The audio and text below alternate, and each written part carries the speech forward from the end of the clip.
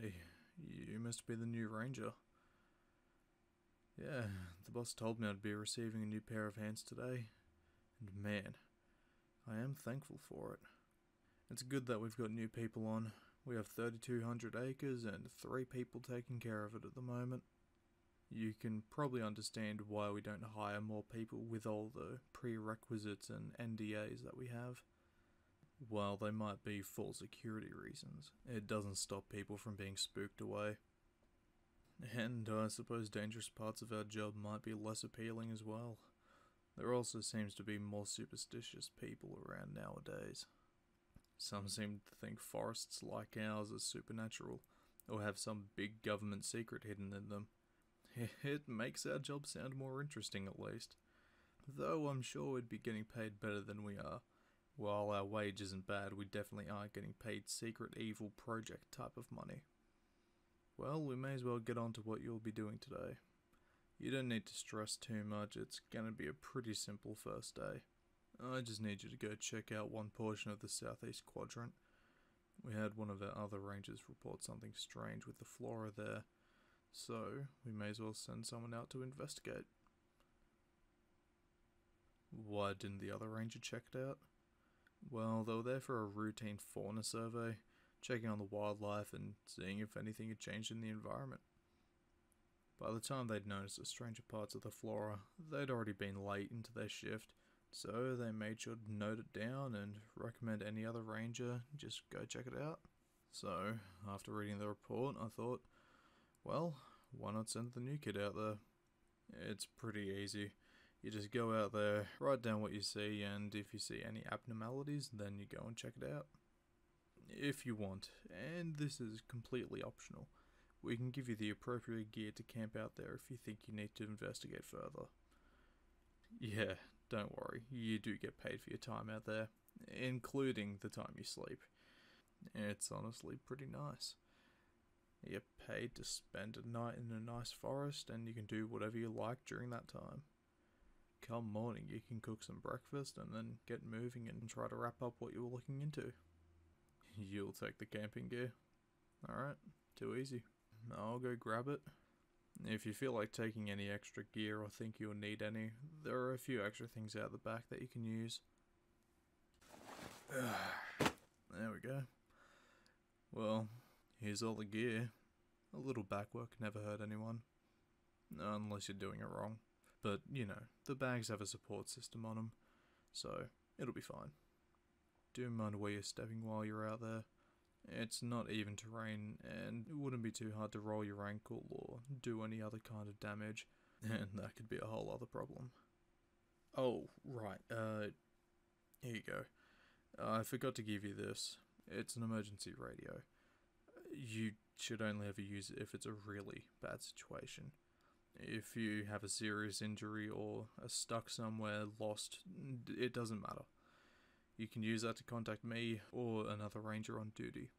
And no matter what the issue is, we'll find a solution. And if we can't figure one out, then we send someone out to go get you. There's a small medicine pack in the kit I gave you. It'll help with small cuts or if you have a bad reaction with plants and the like. Well, that seems to be everything. It's almost 9 now, so I'd recommend getting a move on. It's a long trek to the southeast area, and you've got quite a lot of gear. Alright, I should see you in a day or two. Hopefully you find what the ranger reported.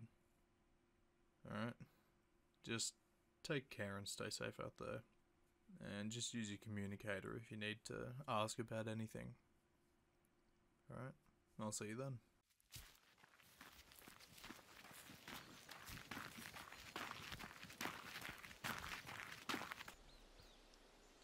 Whew. Uh, finally caught up. I figured since there weren't many things to do or check up on, I may as well walk with you to the halfway mark. Plus there are some things I have to check on while we're moving through these areas. Oh, I'm just making sure some of the boundaries are up and making sure that pathways and fences are still in a working state. They don't have to be perfect, but if they keep people from dangerous areas and animals off the trail, then we're all good. Hmm? What's that? A staircase? Oh, we don't worry about them. You might have seen something in the paperwork about it. Just don't go near them. It's better for everybody if you act like you didn't see them. It's just safer that way. Now, on to nicer things. We're coming to spring. All the plants are starting to look amazing this year. Some of them that have never bloomed before finally get the chance to. They get to the right age where they flower, they spread their seed, and then they die. It can be a little morbid to some people, but it's just a simple cycle of life. Some living things get the luxury of living to have offspring multiple times, while others may only go through the process once, or they don't even make it to that stage. Wow. No, I said I was supposed to get onto something nicer. Sorry, I didn't really want to bring the mood down, I just kind of spewed words out. Well, back to the nice part of what I was supposed to be talking about. With all the plants blossoming and animals coming out of hibernation, you get to see the world come back to life. It's kind of revitalizing. It almost revitalizes you. You can feel yourself being filled with energy from everything around you thriving. It's definitely one of the most refreshing feelings you can get. Seeing all the things around you just jumping back into things, getting their life back on track and going about their time normally. It's nice. I know during the hiring process you had it written down that you had the training for the job, but not the experience. Did you ever spend that much time out in the wilderness? Whether it was camping or just going on hikes? Oh, so you were a bit of a shut-in. Well, the more time you spend out here, the more you'll come to appreciate it. The outdoors is amazing in so many ways. Hopefully it helps you open up to the outside world. There's plenty of amazing experiences and places just waiting for you. Yeah, I sound a bit like a commercial, but it's true. Limiting yourself to the town or city you live in makes you feel like you don't need more. If you start travelling, whether it's just a little out of your area or you take the chance and go overseas, you won't want to stop. One of the best things about going overseas, especially to a country where you don't know the language, is just seeing how alien everything is to you. It might make you worry a little, but it's pretty fun for the most part. Anyway, we'll be getting pretty close to the halfway point soon. Then it's all down to you. Don't worry. If I thought this was going to be difficult or troubling in any way, I'd be going with you. For the most part, this seems routine. I have pretty good faith in you. You seem like a good kid with a great heart and a smart brain. So, I think you'll do well, even though we've only talked a little bit in person and communicated through a couple of messages online. You seem like a genuinely good person.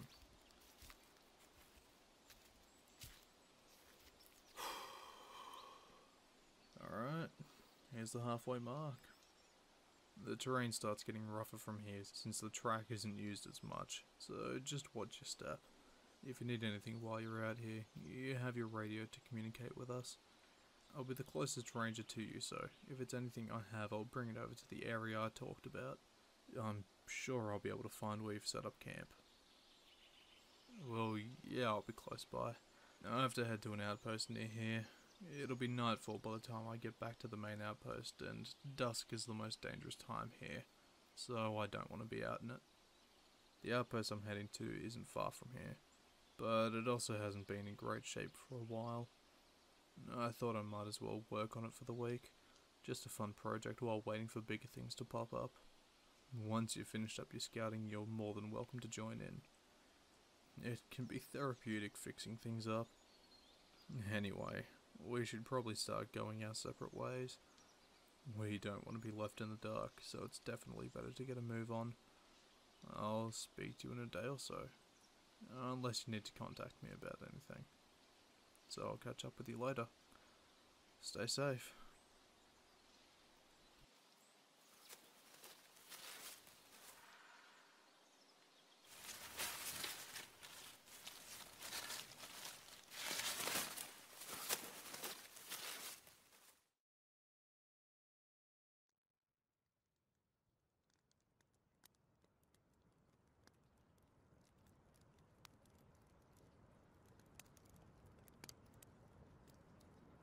That was a lot more annoying than it should have been. But the fire's going and I can finally lay down. These are the best sleeping bags ever. Oh god. I should probably eat something too. I feel like I should be more worried about that than I am. Okay, what is it this time? Hey, I, uh, I wasn't expecting you. Uh, hey, what's wrong? Okay, okay, just, just come inside. You can sit down here. You look pretty shaken up, and you and scratched up too. Can I have a look at them? You don't mind if I touch them, right? Okay. Hmm. It looks like these are just from running through bushes and the like. I can feel your pulse. Shit, I can see you pulse. Your heart is just pounding. Hey, look at me for a second. Whatever happened out there, or whatever you saw, it can't affect you here. Nothing can get to you. You are completely safe with me here. Take some deep breaths, okay? Alright, just breathe in. Alright, good. Just hold it for a second. And breathe out. I know it feels a little uncomfortable, but just keep that up. I'm gonna go look for my med kit so I can clean up your wounds. Alright? Alright, hey, hey, you're, you're doing good. Do you feel any better? Good, good. Are you able to tell me what happened? If you aren't ready, that's okay. We can talk about it in the morning. You're okay to talk? I don't want you to force yourself to any. Yeah, okay. Tell me what happened.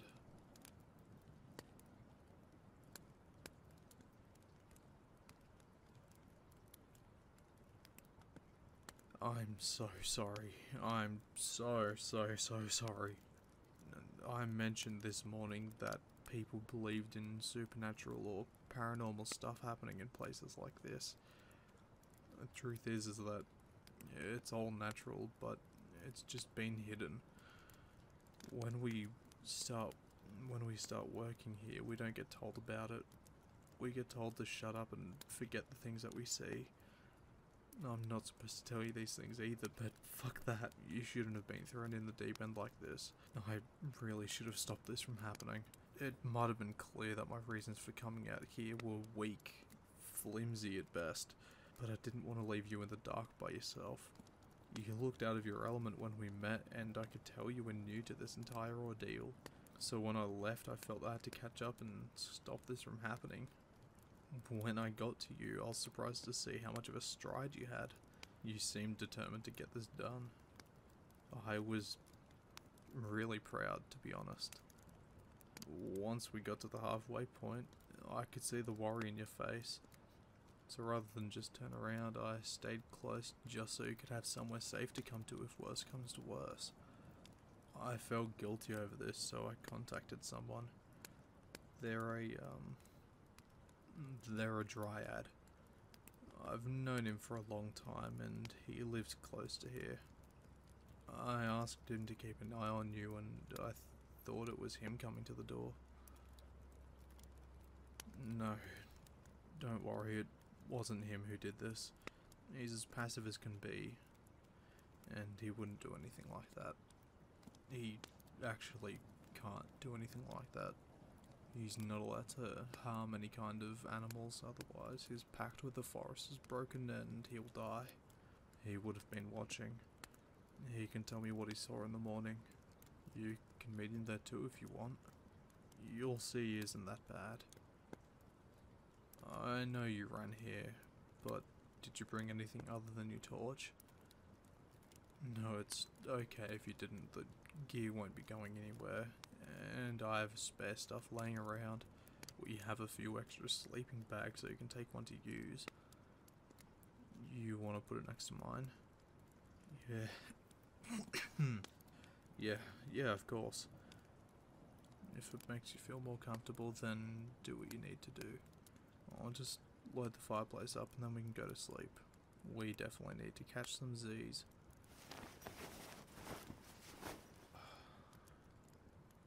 Are you comfortable? Hmm. Not really. What would make it better? You. You want me to hold you? Yeah, I, I can do that. I get it. It's been a pretty traumatic night, and you just want a little security. Right? of course. Of course. Mm. Wow, you're cold. I can tell why you want to, um, to be held. Sorry. You're okay with calling it cuddling? Well, you're very good at cuddling.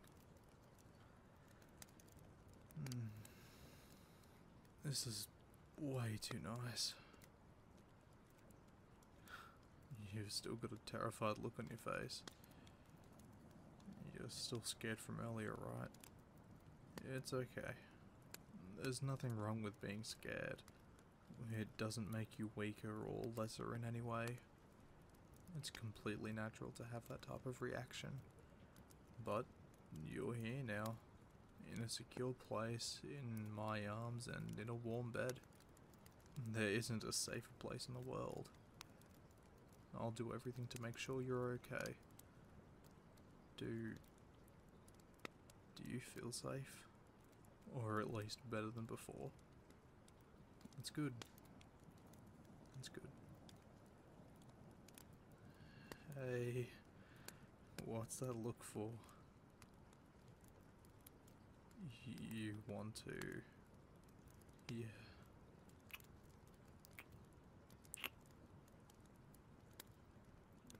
Hmm. That's good. Great, even. No, it's amazing.